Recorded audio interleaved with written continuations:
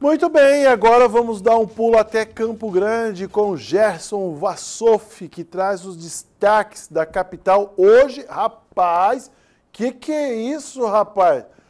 Esfriou por aí, Gerson? Bom dia. Isso mesmo, bom dia para vocês. Zé, bom dia para todos aí em Três Lagoas também. Nós tivemos uma frente fria chegando aqui pela capital, viu? Hoje já amanheceu com 18 graus, então frio. Nesse momento faz 23 e para mim ainda está frio aqui em Campo Grande, então continuo é, com, o, com a jaqueta também. Bom, a gente teve essa, essa mudança de temperatura aqui na capital, ela já era esperada, mas é, tivemos apenas uma chuva muito leve por aqui, que é o que a gente mais queria, né? Para dar uma aliviada nesse tempo seco que faz aqui em Campo Grande, não só aqui, mas em todo o estado. E nós tivemos uma chuva bem rápida e bem, é, bem fraca aqui em Campo Grande. A gente fica aí no aguardo de mais chuvas aqui pela capital, Israel. Muito bem, senhor Gerson. Aqui também choveu fraquinho ontem à noite, né? Não foi suficiente para é, limpar o céu dessas fumaças, mas foi o suficiente para amenizar a onda de calor. Outro destaque aí na nossa capital, meu querido? Bom, vamos continuar repercutindo o assunto, né, Zé? Que é o acordo que teve entre proprietários rurais e indígenas aqui em Mato Grosso do Sul. Vamos falar sobre isso porque ontem eu entrei ao vivo falando com vocês sobre esse acordo que foi firmado é, no, no, no, super, no, Supremo Tribunal Federal, depois de quase 30 anos, então, é, indígenas Guarani Kaiowá firmaram é, um acordo junto com proprietários rurais sobre áreas de conflito, tá? De cerca de 9 mil hectares lá em Antônio João.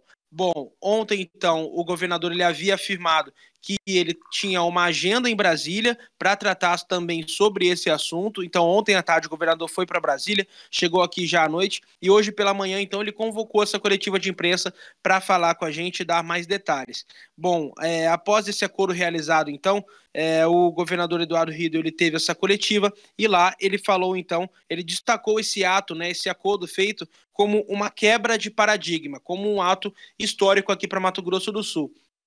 Ele disse é, que isso é, serve de exemplo, toda essa discussão que teve, também esse acordo que eles chegaram, serve de exemplo para outras seis áreas é, que estão é, também nessa mesma situação de conflito aqui em Mato Grosso do Sul, e isso ainda vai ser estudado, lógico, caso a caso, cada caso é, tem as suas peculiaridades, mas é, essa discussão que teve e toda essa, esse acordo que eles conseguiram chegar entre indígenas e proprietários rurais, então isso também pode ser usado de exemplo para outras áreas aqui de Mato Grosso do Sul.